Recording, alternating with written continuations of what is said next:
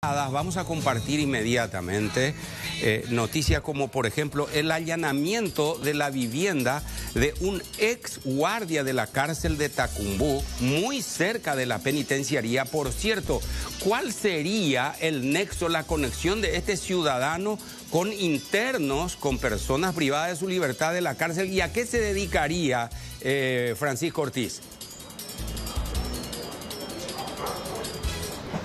Sí, así es, don Oscar. Sigue el procedimiento aquí en esta vivienda ubicada sobre la calle 22 Proyectadas y Caballero, a una cuadra de la penitenciaría de Tacumbú. Los intervinientes mencionan que el ex guardia cárcel, dueño de esta casa, supuestamente formaría parte de este esquema delictivo de estafa y extorsión que opera desde la cárcel. Lo que conocemos como estas llamadas extorsivas que normalmente la gente recibe o el mensaje que también recibe a través de algún eh, particular que le dice que supuestamente su familiar está en un accidente, que su familiar está complicado en algún hecho delictivo y por eso la gente termina cayendo en este tipo de episodios y envía dinero o realiza giros o transferencias. Este lugar funciona como boca de cobranzas también para envíos, para transferencias y es por eso que la policía menciona que esta persona aparentemente recibía dichos giros o transferencias y llevaba la plata hasta la cárcel de Tacumbú. Estamos mostrando ahora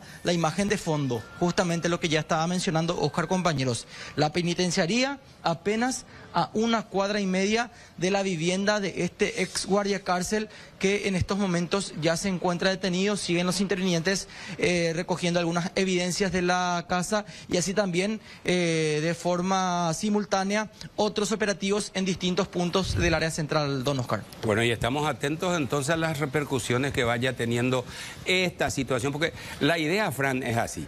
Cuando hay una, lo que sea, extorsión, extorsión desde la cárcel y están pidiendo dinero, más que transferencia, alguien está cobrando.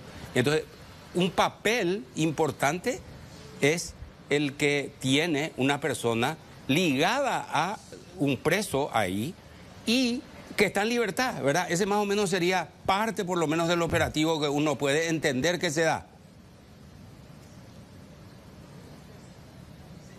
El nexo, justamente, la persona encargada de cobrar y retirar el dinero. Y lo más difícil de todo, Oscar, cómo hacer ingresar ese dinero a la cárcel. La facilidad que tenía este hombre era eh, justamente haciéndose valer como guardia cárcel de su expuesto, porque actualmente él ya no forma parte eh, del plantel de guardia cárceles de Tacumbú, pero él anteriormente eh, tenía esa facilidad de poder ingresar a la penitenciaría y de esta forma también hacer ingresar el dinero.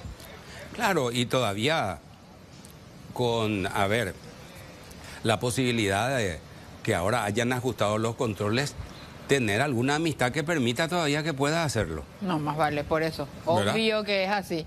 Evidentemente. obvio, así las cosas. Tenemos derecho a pensar que eso puede seguir ocurriendo. Claro, sí. Claro. Muchas gracias, Francisco. Señor